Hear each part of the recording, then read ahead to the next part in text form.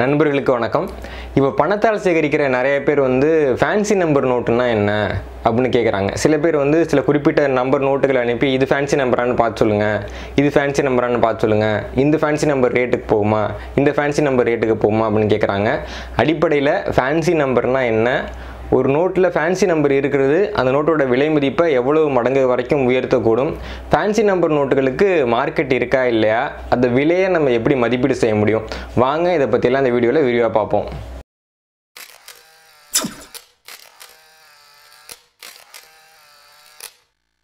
இந்திய பணத்தாள்களில் இருக்க தொடர் எண்கள் அல்லது சீரியல் நம்பர்ஸ் எப்பவும் ரெண்டு பாகங்களை கொண்டது.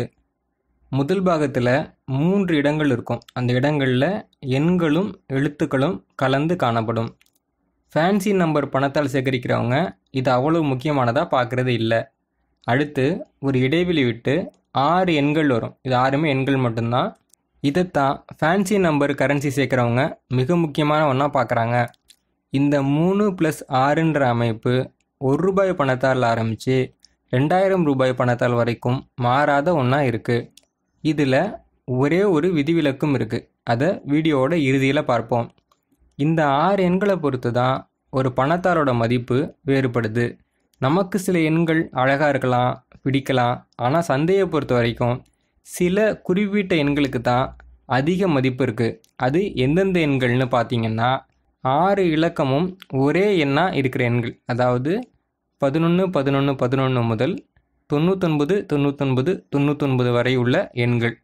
இதுக்கு எப்பயுமே வந்து ஒரு நல்ல மார்க்கெட் இருக்குது அடுத்து ஆறு இடத்துல ஒரே ஒரு எண் மட்டும் இருக்கிற எண்கள். அதாவது சுழியம் சுழியம் சுழியம் சுழியம் சுழியம் ஒன்று முதல் சுழியம் சுழியம் சுழியம் சுழியம் சுழியம் ஒன்பது வரை உள்ள எண்கள் மற்றும் ஒரு லட்சம் முதல் ஒன்பது லட்சம் வரை உள்ள அதாவது ஒரு லட்சம் ரெண்டு லட்சம் மூணு லட்சம் நாலு லட்சம் அஞ்சு லட்சம் ஆறு லட்சம் ஏழு லட்சம் எட்டு லட்சம் ஒன்பது லட்சம் வரை உள்ள எண்கள். இந்த எண்களுக்கு வந்து நல்ல மார்க்கெட் இருக்குது அடுத்து இஸ்லாமிய எண்கள் அதாவது எழுநூற்றி எண்பத்தி ஆறுன்னு தொடங்குகிற எண்கள் அல்லது முடிகிற எண்களுக்கு நல்ல மார்க்கெட் இருக்குது சில பேர் என்ன சொல்கிறாங்க அப்படின்னா அது வந்து மந்திர எண் அதுக்குள்ளே மந்திரத்தன்மை இருக்குது இந்த எண் இருக்க பணத்தால் நீங்கள் வச்சுருந்தீங்கன்னா எங்கேயோ பணக்காரங்களாக ஆகிடுவீங்க அப்படிலாம் சொல்கிறாங்க அப்படி ஒரு விஷயம் எழுநூற்றி எண்பத்தி ஆறு இருக்கிற நோட்டுக்கு பின்னாடி இருக்கா அப்படின்னு எனக்கு தெரில. அதுக்குன்னு தனியாக ஒரு சந்தை மதிப்பும் கிடையாது. அதனால் அதெல்லாம் நம்பி ஏமாறாதீங்க. அதுலேயும் இந்த எழுநூற்றி எண்பத்தி ஆறு நோட்டுகளில் மூன்று வகை நோட்டுகளுக்கு மட்டும்தான் நல்ல மதிப்பு இருக்குது என்னென்னா ஒன்று எழுநூற்றி எண்பத்தி ஆறு அந்த நோட்டோட எண்ணை ஆரம்பிக்கிற இடத்துல இருக்கணும். அதாவது எழுநூற்றி எண்பத்தி ஆறு சுழியம் சுழியம் சுழியம்னு இருந்தால் மதிப்பு இருக்குது இல்லை கடைசி மூணு இடத்துல இருக்கணும். அதாவது சுழியம் சுழியம் சுழியம் எழுநூற்றி எண்பத்தி ஆறுன்னு இருக்கணும். அல்லது ரெண்டுமே எழுநூற்றி ஐம்பத்தி ஆறாக இருக்கலாம். அதாவது எழுநூற்றி ஐம்பத்தி ஆறு எழுநூற்றி ஐம்பத்தி ஆறுன்னு ரெண்டு தடவை வந்துச்சுனாலும் அதுக்கு மதிப்பு இருக்குது அது போக எழுநூற்றி ஐம்பத்தி ஆறுங்கிறது ஒரு என்னோட நடுவில் வந்துச்சுனாலோ இல்லை நிறைய எண்கள் இருந்து அதில் எழுநூற்றி ஐம்பத்தி ஆறு இருந்துச்சுனாலும் அந்த நோட்டுகளுக்கு வந்து பெருசாக விலை மதிப்பு கிடைக்கல அப்படிங்கிறது தான் உண்மை. சரி இந்த மூன்று வகையிலான எண்களுக்கும் விலை மதிப்பு இருக்குன்னு சொல்லிட்டோம். எவ்வளவு விலை கிடைக்கும் அப்படின்னு நீங்கள் கேட்டிங்கன்னா அது விற்கிறவங்களையும் வாங்குறவங்களையும் பொறுத்தது தான் இதுதான் விலைன்னு யாராலையும் ஃபிக்ஸ் பண்ணி இதுக்கு சொல்லிட முடியாது. இதை நாங்கள் ஃபேன்சி ப்ரைஸிங் அப்படின்னு சொல்லுவோம். எல்லா ஏலங்கள்லேயும் எல்லா நாணய கண்காட்சிகள்லேயும் ஃபேன்சி நம்பர் பணத்தாள்கள் விற்கப்படுது. அதனால் அதோடைய சந்தை விலை இதுதான் நம்ம சொல்ல முடியாது. ஒருத்தவங்க பிடிச்சிருக்குன்னா அதிக விலை கொடுத்து வாங்குவாங்க இல்லாட்டி குறைச்ச விலையும் கொடுத்து வாங்குவாங்க. அதனால் இதை விற்கிறதுல எந்த பிரச்சனையும் இருக்காது. ஆனால் விலை மதிப்பீடு இதுதான்னு யாராலையும் சொல்ல முடியாது அப்படிங்கிறது தான் உண்மை. பொதுவாக அதுக்கு என்ன மதிப்பு சொல்லலாம்னா அதோட முகமதிப்பு அதாவது வந்து நூறுரூபா நோட்டா இரநூறுபா நோட்டா ஐநூறுரூபா நோட்டாங்கிறத பொறுத்து ஒரு நோட்டில் ஃபேன்சி நம்பர் இருந்துச்சுன்னா அதோட முகமதிப்பு மாதிரி குறைஞ்சபட்சம் மூணு மடங்கு அதிக விலை கிடைக்கும். அதாவது ஒரு நூறுரூபா நோட்டில் உங்களுக்கு ஃபேன்சி நம்பர் இருக்குது அப்படின்னா அதுக்கு மிக குறைஞ்சபட்சம் முந்நூறுரூபாய்க்கு போகும். அதில் வந்து எந்த சந்தேகமே கிடையாது. சரி அதிகபட்சம் எத்தனை மடங்குக்கு போகும் அப்படின்னு நீங்கள் கேட்டிங்கன்னா அதோட விடையை நமக்கு இந்த வீடியோட கடைசியில் பார்ப்போம்.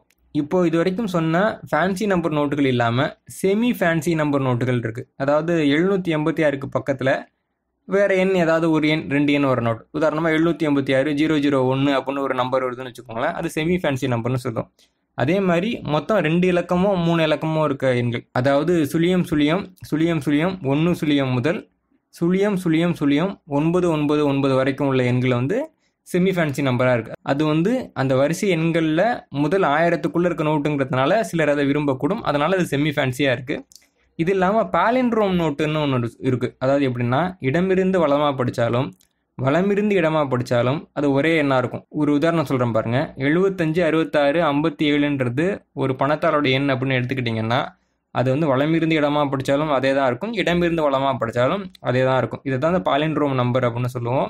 இந்த மாதிரி செமி ஃபேன்சி எண்கள் இருக்கக்கூடிய பணத்தார்கள் பாலின்ட்ரோம் எண்கள் இருக்க பணத்தார்களுக்கு ஓரளவுக்கு மதிப்பு கிடைக்குது. சில சமயம் இந்த மாதிரி செமி ஃபேன்சி நம்பர் இருக்கிற நோட்டுகள் கூட நல்ல விலைக்கு போகும். எப்பன்னா அந்த செமி ஃபேன்சி நம்பர் சர்க்குலேஷனில் இருக்கிற சாதாரண நோட்டுகள் இல்லாமல் ஏதாவது அரிய பணத்தாள்கள் இருக்குது அப்படின்னா ஏற்கனவே அந்த பணத்தாலும் கொஞ்சம் அரிதாக இருந்து நம்பரும் ஃபேன்சி நம்பராக இருந்துச்சுன்னா அது நல்ல விலைக்கு போகும். உதாரணமாக இந்த பழைய நூறுரூபா நோட்டை பாருங்கள் இது வந்து டோட்டிவாலா ஆக்ஷன்ஸ் நிறுவனத்தில் ரெண்டாயிரத்தி ஐநூறுரூபாய் முதல் மூவாயிரம் ரூபாய் வரைக்கும் போகும் அப்படின்னு லிஸ்ட் பண்ணப்பட்டும். யாருமே இதை வாங்கலை. ஆனால் இதே வகையை சேர்ந்த இன்னொரு நோட்டு. இந்த நோட்டை பார்த்தீங்கன்னா கடைசியில் வந்து எழுநூற்றி எண்பத்தி ஆறுன்னு முடியுது. அந்த நோட்டு அதே டோட்டிவாலா நிறுவனம் நடத்தின அதே ஆக்ஷன்லலாம் அந்த ரூபா நோட்டை வந்து ஏலத்துக்கு விட்ட பின்னாடி இந்த ரூபா நோட்டை ஏலத்துக்கு விடுறாங்க. இதுக்கு வந்து அவங்க மூவாயிரத்துலேருந்து நாலாயிரம் போகும்னு விலை மதிப்பீடு பண்ணியிருந்தாங்க. ஆனால் யாரும் எதிர்பாராத விதமாக அந்த நோட்டு பன்னெண்டாயிரம் ரூபாய்க்கு ஏழாம் போச்சு. இதுதான் சொன்னேன் செமி ஃபேன்சி நம்பர் வந்து அரிய நோட்டுகளில் வர்றப்ப அது மூலமாக நல்ல விலை மதிப்பு கிடைக்கும் அப்படின்னு. சரி பணத்தாலும் ரேரான பணத்தால் அரிய பணத்தால் இன்னும் நல்ல ஃபேன்சியான நம்பராக இருக்குது அப்படின்னா அப்படி இருக்க பணத்தால் எவ்வளோக்கு போகும் அப்படின்னு கேட்டிங்கன்னா அப்படி ஒரு பணத்தால் உங்களுக்கு கிடச்சிருந்தா உங்களுக்கு ஜாக்பேட் அடிச்சிருச்சு அப்படின்னு அர்த்தம். உதாரணமாக டோட்டியோலா ஆக்ஷன்ஸில் ஏலத்தில் போன ஒரு ஒரு ரூபாய் நோட்டை பற்றி நீங்கள் பாருங்கள் இதனுடைய எண்கள் வந்து ஆறு எண்கள் இருக்கிறதுக்கு பதிலாக ஏழு எண்கள் இருக்குது அதாவது வந்து ஒன்பது லட்சத்து தொண்ணூத்தொம்பதாயிரத்தி தொள்ளாயிரத்தி தொண்ணூத்தொம்போது அப்படிங்கிற எண்ணோட அடுத்த எண்ணான பத்து லட்சம் அப்படிங்கிற எண் இருக்குது நான் அந்த வீடியோட ஆரம்பத்தில் சொன்னேன் இல்லைங்களா? ஆறு டிஜிட் தான் இருக்குன்றதுக்கு ஒரு விதிவிலக்கு இருக்குன்னு. அந்த விதிவிலக்கு இதுதான். இந்த விதிவிலக்கான நோட்டு எவ்வளோக்கு விலை போச்சு அப்படின்னு பார்த்தீங்கன்னா ரெண்டு லட்சத்து முப்பதாயிரம் ரூபாய்க்கு விலை போச்சு அதாவது அந்த நோட்டோடைய மதிப்பு மாதிரி ரெண்டு லட்சத்து முப்பதாயிரம் மடங்கு அதிக விலைக்கு போச்சு. இதனால தான் பணத்தாள்கள் சேகரிக்கிறவங்களும் சரி பணத்தாள்கள் விற்கிறவங்களும் சரி அதோட நம்பருக்கு ஒரு அதிக முக்கியத்துவம் கொடுக்குறாங்க. என்ன நண்பர்களே ஃபேன்சி நம்பர் ரூபாய் நோட்டுகள் பற்றி பார்த்தீங்களா இந்த வீடியோ பார்த்த நிறைய பேர் வந்து வருத்தப்படுறதுக்கு வாய்ப்பு இருக்குது ஏன்னா நான் இதுக்கு முன்னாடி நிறையா தடவை பேங்க்குக்கு போயிருக்கேன் லட்சங்களில் பண நோட்டுகளை மாற்றிருக்கிறேன் அப்போல்லாம் எனக்கு ஃபேன்சி நம்பர் பற்றி எதுவுமே தெரியாது. தெரிஞ்சிருந்துச்சுன்னா நான் அந்த கட்டுகளில் வந்து ஃபேன்சி நம்பர் நோட் இருக்கான்னு பார்த்து அதை மட்டும் தனியாக எடுத்து சேர்த்து வச்சுருந்துருப்பேன். அப்போல்லாம் நீங்கள் நினைக்கக்கூடும். இப்போ நீங்கள் இந்த வீடியோ பார்த்துட்டீங்க உங்களுக்கு ஃபேன்சி நம்பர்னால் என்னென்னு தெரியும். நீங்கள் வங்கிகளில் போயிட்டு கட்டு கட்டாக பணம் மாற்றுறப்போ அந்த கட்டு எடுத்து சரியாக பார்த்தீங்கன்னா அதில் சரியான வரிசையில் இருக்கிறது வந்து ரொம்ப குறைச்சலான கட்டுகள் தான். ஏன்னா பேங்க்கில் வேலை பார்க்குறவங்களுக்கு உங்களுக்கு முன்னாடியே ஃபேன்சி நம்பரை பற்றி தெரியும். பெரும்பாலான வங்கிகளில் தொண்ணூத்தொன்பது சதவீத வங்கிகளில் வந்து அந்த கட்டிலேருந்து ஃபேன்சி நம்பரை அவங்களே உருவிட்டு தான் கொடுக்குறாங்க. இதுதான் நடக்குது. இருந்தாலும் கூட சில சமயம் கை மாறி ஃபேன்சி நம்பர் நோட்டுகள் வந்து வெளில வர்றதும் நடந்துக்கிட்டு தான் இருக்குது. அதனால் நீங்கள் ஃபேன்சி நம்பர் நோட்டை நிறைய இழந்துட்டோமே அப்படின்னு நினைக்காதீங்க. வங்கிகளில் கோடி கோடியாக பணம் மாற்றி எல்லா நோட்லேயும் தேடி ஃபேன்சி நம்பர் கிடைக்காதவங்களும் இருக்கிறாங்க. அதே சமயம் சர்க்குலேஷனில் ஒரு பத்து ரூபாய்க்கு நான் சில்லற மாற்ற போனாங்க. அஞ்சு ரூபா நோட்டில் ஃபேன்சி நம்பர் வந்துச்சுன்றவங்களும் இருக்காங்க.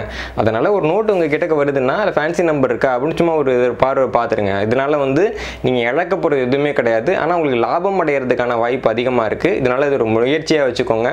இந்த ஃபேன்சி சின்ன ஒரு நோட்டுகள் இல்லாமல் எரர் நோட்டுகள் இருக்குது அதாவது ரூபாய் நோட்டுகளில் பிழையோடு கூடிய ரூபாய் நோட்டுகள் இருக்குது அது மாதிரி பர்த்டே கரன்சி அப்படின்னு ஒன்று இருக்குது இந்த மாதிரி ரூபாய் நோட்டுகளில் பல விதங்கள் இருக்குது மிக முக்கியமாக வந்து இந்த ஸ்டார் குறியீடு இருக்க கரன்சி பற்றி நிறைய பேர் கேட்டுக்கிட்டு அதை பற்றி எல்லாம் இனி வரக்கூடிய வீடியோக்குள்ளே நம்ம பார்ப்போம். தொடர்ந்து இணைந்திருங்கள். பயிற்று படைப்பகத்தோடு நன்றி வணக்கம். லைக் பண்ணுங்க ஷேர் பண்ணுங்க சப்ஸ்கிரைப் பண்ணுங்க. மறக்காம அந்த பெல் ஐக்கானை கிளிக் பண்ணுங்க.